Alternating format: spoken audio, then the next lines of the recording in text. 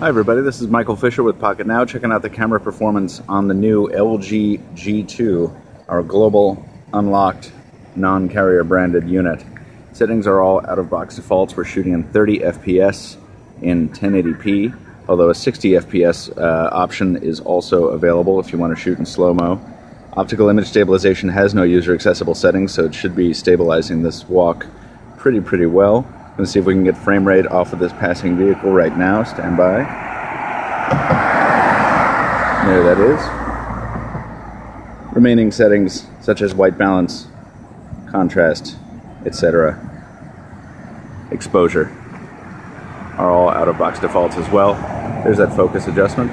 And let's come in for a close up if we can. And there it is.